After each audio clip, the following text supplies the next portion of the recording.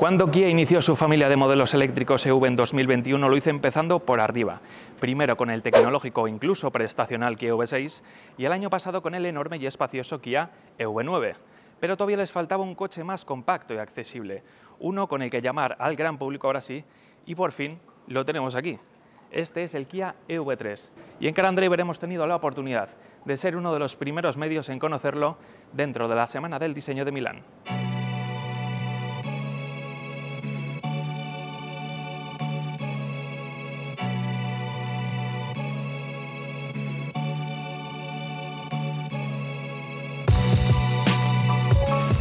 Sí, has oído bien. Este primer encuentro con el nuevo subcompacto y 100% eléctrico de Kia se produjo más de un mes antes del estreno global del que ya es el tercer miembro de su familia de modelos EV.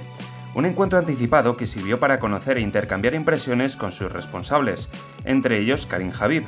jefe de diseño global de Kia que junto a su equipo ha dado forma al nuevo estilo y modelos recientes de la marca.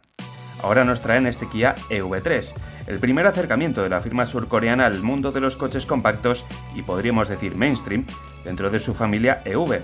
Eso sí, ya avisamos que no será el último, ya que también durante los próximos meses la familia se completará aún más con modelos como el Kia EV5 y el aún más pequeño Kia EV2.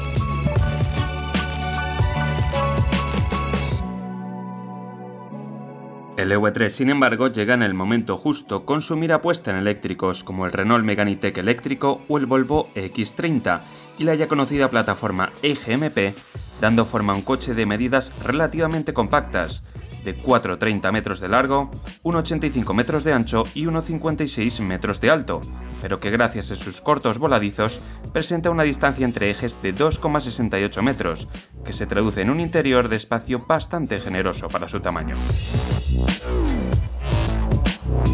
Desde luego lo primero que llama la atención al mirarlo es lo mucho que se ha conservado del Kia V3 Concept mostrado en 2023, así como sus evidentes rasgos familiares con su hermano mayor el Kia EV9, con el que comparte ya el conocido lenguaje de diseño Opposites United y que hace que estemos en cierto modo ante un EV9 en tamaño S. Sin embargo, este V3 consigue marcar estilo propio con un diseño algo más dinámico de la mano de su corto y más caído capó, su esbelta línea de techo rematada en un alargado spoiler y una zaga familiar pero aquí con una luneta más tendida. Todos estos aspectos logran, según nos ha contado el propio Karim Habib, que el V3 no solo mantenga el estilo robusto y de líneas marcadas de los Kia recientes, sino que al mismo tiempo sea muy aerodinámico, anunciando un coeficiente de resistencia de solo 0,26.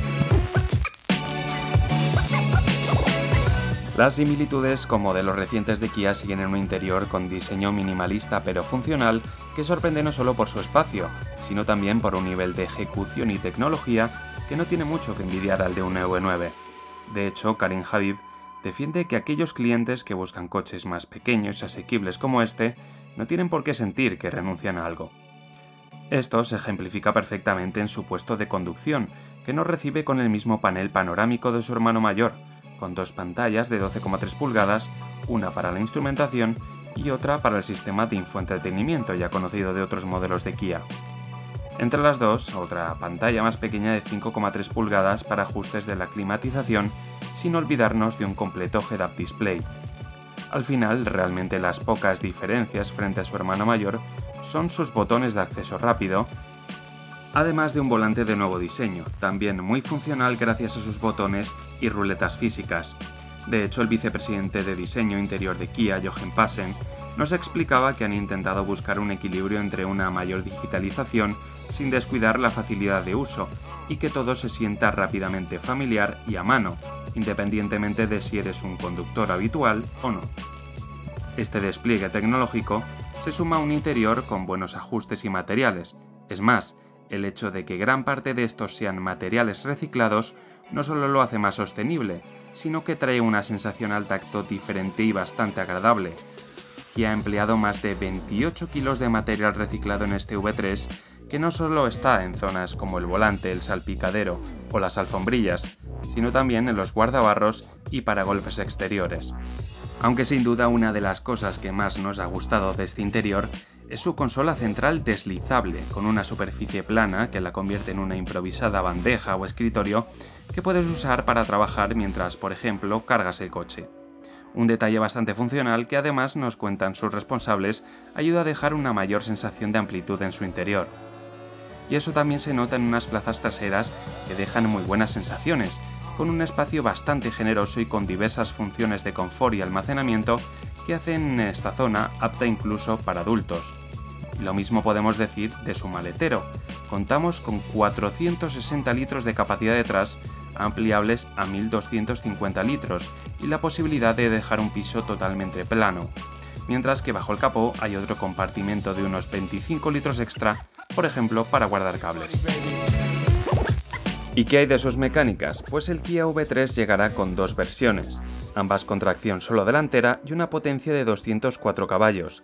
La diferencia radicará en el tamaño de la batería. El V3 de autonomía estándar ofrecerá un paquete de 58,3 kWh con el que ofrecerá en torno a 410 km con una carga, mientras que el tope de gama de gran autonomía cuenta con una batería de 81,4 kWh para alcanzar en torno a 560 km con una sola carga, que por cierto podrá alcanzar potencias de hasta 128 kW en corriente continua para pasar de un 10 a un 80% de batería en torno a media hora.